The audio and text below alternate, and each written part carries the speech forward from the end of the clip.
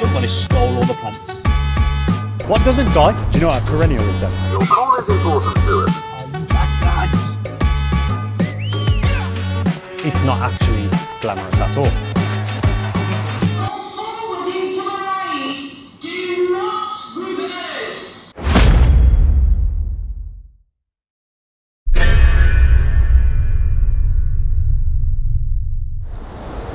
What else? What else? What else? Something that doesn't die. Something that doesn't die. What doesn't die? All the perennial stuff's kind of. This is like perennials, like I know what that means. Do you know what a perennial is then? Grab them? Yeah. Nah, nah, not them ones. Olive trees. They don't die easy. Shit. Lovely. All right then, Dad. I'll speak to you in a bit. See you later. That's gonna have to do. Somebody stole all the plants. Who does that? Why steal a bunch of plants? Basically, Moseley itself is a beautiful shop and it's got this really prominent frontage, got loads of character. Everybody keeps parking their car in front of it. So we built these planters and then we put all trees and different plants in there and stuff. During lockdown, somebody came and stole all of the plants. Not like the planters itself, they took the whole thing away. They left those, they took just the plants. What do you do with those plants? Do you sell them again? Do you just put them in your garden and look at them? Hopefully you've got a really nice garden now. So just grabbed all the plants, loaded them in my dad's van, and he's now gonna take them over to Moseley and get them all planted. My dad's a painter and decorator.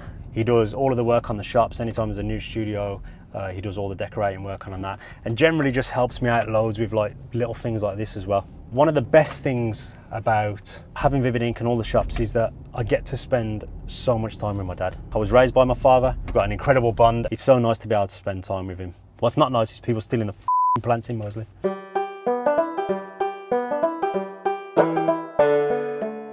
Right, just got to Moseley. Let's see how my dad's getting on. You alright, Dad?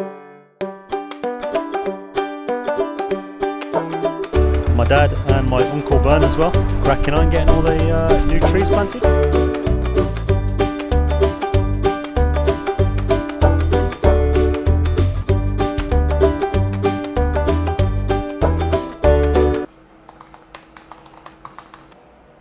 Strange email. Let me read this out loud. Hi there, I hope this finds you well. We're a BAFTA and Emmy award winning production company based in London. We've been making shows since 1982 for the BBC, ITV and Channel 4 and have a reputation for making original and super feel good programming. Fair play. Some of our shows include Channel 4 Never Seen It, BBC's The Never Seen It for Disney Plus, Never Seen It or heard of him. I have really.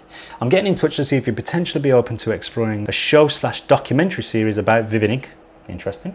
Fair play. Okay, so that's flattering. Would be interested. Pinged over a reply. Let's see what they say. Hello. Hello.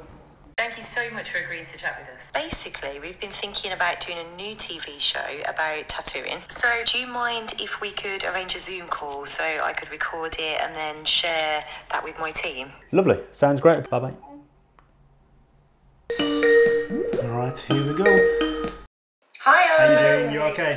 Yeah, like um, I need some really selly stuff, really bigging up your business. You guys basically put Birmingham on the map, is that right? Is that fair to say? Is it fair to say no one else does what you guys do? Is that fair to say? Can I get you to say something along the lines of like Birmingham is the tattoo capital of the UK? We're obsessed with tattoos here. Everyone's tattooed and we are the champions of that. So a big part of your job is fixing other studios' bodge job.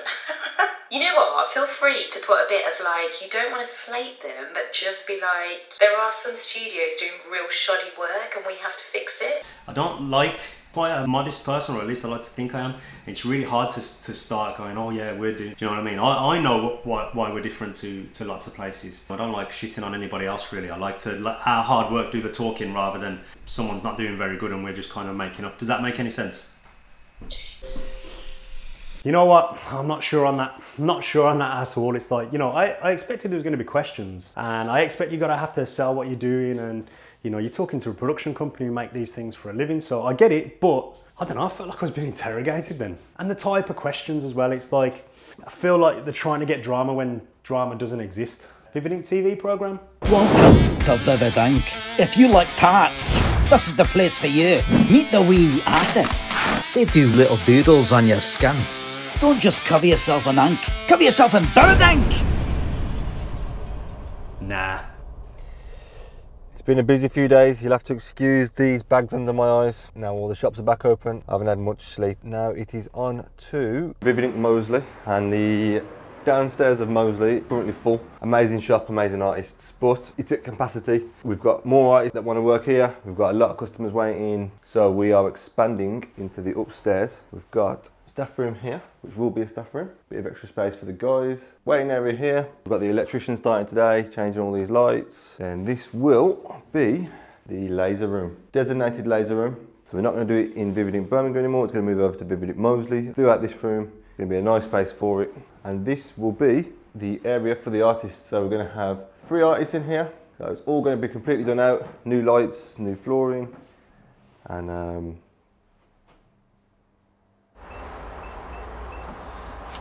Just got to the office bright and early. Uh, I'm going to meet the lads over here and we're going to go over to Stourbridge to view a property which Ben has lined up. Stourbridge is a place that's been on the radar for a little time to be fair. It's a really nice area and it's got a big catchment area around it as well which is really good. Generally we look for a building which has got a bit of natural charm and a bit of natural character as well so it's always good if it's got nice high ceilings and fancy windows or archways or we can of course if it's just a shell create all those things but it's nice if it does have a bit of that natural charm as well. We also look for the building to not have a horrendous kind of refurb. Really extensive building work can get really long in the tooth. It can be really hard to do. You might need planning permission and it just generally makes the process a lot longer and harder. So ideally the better condition the building's in, the better for us. It's a bit of a balancing act to find the exact right kind of, you know, middle ground really. Going to be interesting to see this one. It's a former Betfred. Hopefully it's in really good condition. We shall see. We're going to fly over there now, waiting for the lads to arrive. While I'm waiting, I'm just going to go make a tea. So yeah, I'll show you around the unit in Stourbridge as well. Touchdown in Stourbridge and a quick look at the unit this guy's driving. It's definitely a very nice outside looking shop. You know, it's very prominent. Ticks a lot of the uh, the boxes for us. How long's it been up with you?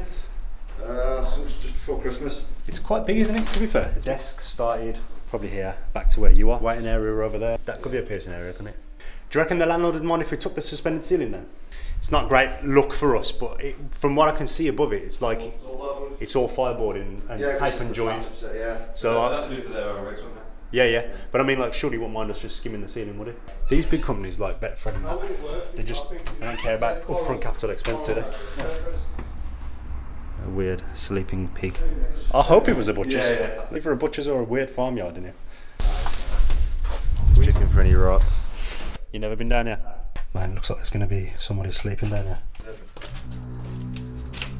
I feel like I'm about to end up in a film. Not a very good ending. but yeah, I reckon it. I reckon it's good size. I reckon Yeah, yeah. five slash six. Smashing. Sound, lovely stuff, lovely stuff. I think we're done to be fair, mate. Yeah, yeah. I don't think we need to see anything further. Successful, guys. Extremely successful. Very successful. Okay, I'm in Vivid Ink Moseley. Gonna check out the refurb from upstairs. Uh, say hello to the guys first on the ground floor. Okay, so this is the downstairs of Vivid Ink Moseley.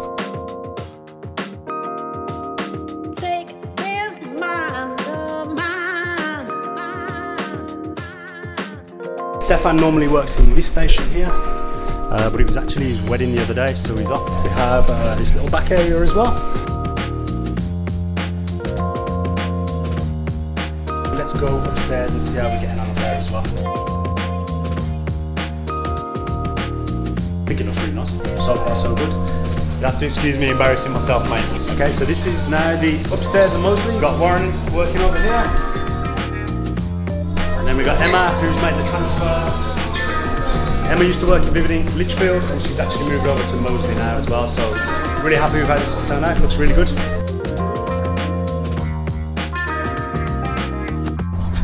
What the f is that? Are you doing that on purpose? is that bird shit? That's not bird shit, is it? No. Would that be a bird piss? right, okay, so just left Vivid Ink Moseley. Uh, really happy with that. It looks great upstairs, and it's so nice to now have, have it over two floors as well, which is really good. We're gonna go and grab a beer to celebrate the success of it all going to plan. It's not often things go to plan, so you've got to have a beer when they do. and you've also got to have a beer when they don't as well. So basically, we're going to go and grab a quick beer. It's not so easy to have just one beer. Hiya, can I order? Uh, can I get a medium tea, please? Yeah, sure, any milk? Uh, milk, please, and can I have a couple of ice cubes in there? You always have to have ice cubes in your tea from Costa because I want to drink it now, not next year. Lovely, thank you very much. You too. I swear I said with milk. Yeah, sure, any milk? Uh, milk, please. Where I said with milk. I don't like black tea at all. Bastards. Yep, onwards and upwards. And we're off. Off to the races. Right, so I need to practice uh, what I'm going to say. I've got to film a, a really quick video for. I've got to film a really quick video for Capital. Uh, Capital FM to tell everybody that Vivid Ink Coventry is open, which is really nice of them. Semi practice what I'm going to say while I'm driving to Coventry. Um, this is where uh, new front of house receptionist Rachel is going to be working from. So hello, Rachel. You, uh, you know, you want to just come in and make. A, oh, you f- I got no money. Card only, card only, card only, card only. Oh, you ads. Your call is important to us. A member of our team. Oh, sorry, I didn't see you there. I uh, I didn't realise it was card only. what's your registration? Uh, Please do not reverse. Come forward into the lane. Do not reverse. Just make sure you pay this online within 48 hours I will do. to avoid up to £70 charge. Fantastic. Thanks a lot. Cheers.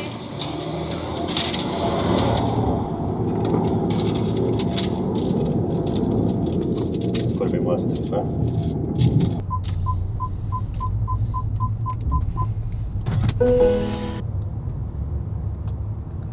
Yo, how you doing, bro?